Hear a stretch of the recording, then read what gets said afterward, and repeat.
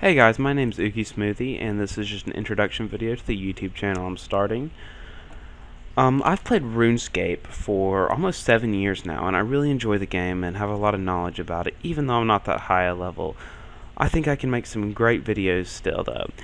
Uh, here are my stats right here. Uh, you can see that I am probably medium high level player. I don't know how you'd classify it. Hey, that's the year I was born.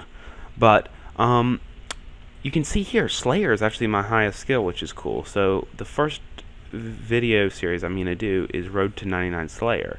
And if I get that, that will mean that I have the untrimmed Slayer cape, which is actually really rare amongst players because the way that the combat system is uh, worked and the way that experience is distributed by Slayer monsters when you kill them. So I've put a lot of time and effort into getting that Slayer level up to where it is now.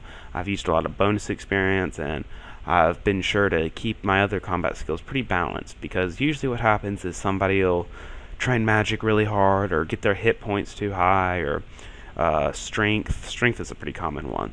But I'm on track to get 99 Slayer, and that's going to be really cool, I think. So I'm going to do a Road to 99 Slayer, and I'm going to collect all the loot, but it's not going to be a very accurate loot representation of what you should expect to get on to, on the road to 99 Slayer because I'm going to be doing it as fast as I can. So I'll be doing bonus experience and you know my troll invasion and penguin points and stuff on Slayer like I normally do.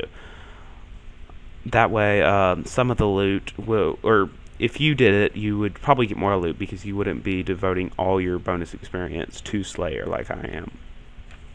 And another reason for that is because I will be, I'm not like selling my whole bank to do this. I'll sell some stuff, but so some stuff might get mixed in, and the uh, representation of the amount of money you will make from 95 to 99 Slayer might not be as accurate as it would be um, if you did it yourself. Alright guys, so I think that's it for today. Um, I'm going to upload the next video tomorrow, and it's going to be the first one in the road to 99 Slayer. See y'all later. Thanks for watching.